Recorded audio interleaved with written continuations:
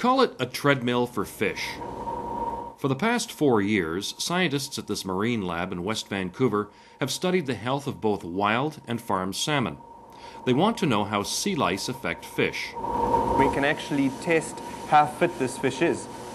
So, pretty much the same as you would with a human athlete, we can start looking at um, what sort of impact sea lice is going to have on the fitness of this fish. We can do either tests that look at uh, his stamina and his performance, or tests that show what his maximum swimming speed is. Dr. Kevin Butterworth and his team at the University of British Columbia's Center for Aquaculture and the Environment have recreated a natural marine environment here. They regulate water current speed, salinity, and overall stress on fish. Over here we have a healthy coho smolt. Once we find out how well he performs inside the tube, we can put in a fish that's infected with sea lice, and then we can find out how well he performs and look at the difference between the two. Those opposed to fish farming argue that farmed salmon are infecting wild salmon with sea lice and killing them. Scientists here say there is no data to support that argument yet. Over here on the west coast, we don't have any direct link and we don't know whether we have a problem yet. So a lot of the work that's ongoing is to um, try and show um, if we do have a problem, because to date we just don't know. Dr. Butterworth knows sea lice can infect both wild and farmed salmon, but what he doesn't know is how serious the threat is. If we find that there isn't sufficient numbers of sea lice moving from farm fish to wild fish to actually make an impact on the numbers of sea lice on wild fish, then it's not, it's not impacting the wild populations at all. That makes then sea lice management on the farms a, a priority for farmers, but not a, a wider environmental issue. Sea lice occur naturally in all of the world's oceans. In this little vial, we have uh, Lepeophtheirus salmonis, which is a salmon louse. You can see there it's got a little paper tag in there, and the tag is a number for a fish. So this particular fish only had one louse on it.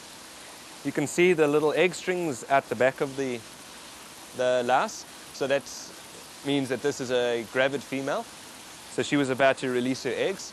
And this is on wild Chinook that we're heading out to see on the west coast of Vancouver Island.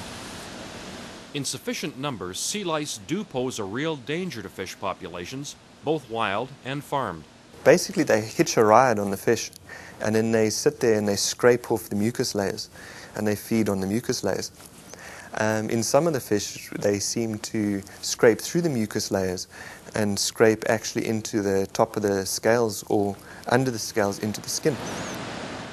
Lice don't like cold water or seas with low salinity.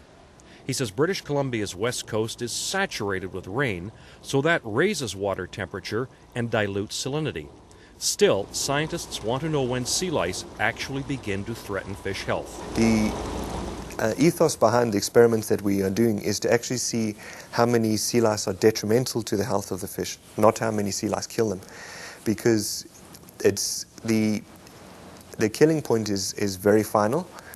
Whereas if you have a fish in the wild, you don't want to know how many fish are actually dropping dead from sea lice. You want to know at what point do the sea lice loads actually start affecting the health of the fish. People opposed to fish farms say evidence already proves sea lice are killing huge stocks of wild salmon in other parts of the world. They say scientific data shows that our oceans and seas are at risk. Not so, says Dr. Butterworth. There's two main research questions. The first is Is um, the sea lice on the farms actually transferring to this wild uh, salmon in sufficient numbers to have an effect on them? And the second question is how many sea lice are actually detrimental to their health? Because if you catch salmon and you see sea lice on them and you're not used to seeing the sea lice on them, you may think that there's a, a large problem. But we don't actually know how many sea lice are innocuous to salmon and how many are actually detrimental to their health. Over here on the west coast, there's um, relatively few farmed fish compared to the wild fish numbers. And we know that the wild fish here have a lot of sea lice on them. So we don't actually know whether the sea lice on the farm fish are making an impact on the sea lice on the wild fish at all. From tiny fry, fish here are monitored throughout their life so that the science is exact. Researchers control every aspect of the fish so that their data is precise.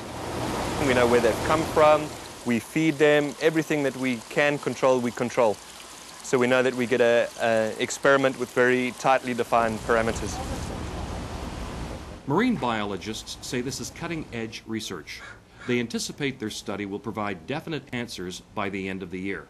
Dr. Butterworth and his team hope to know first if salmon farms are infecting wild fish, and second, how many sea lice it takes to affect the health of salmon.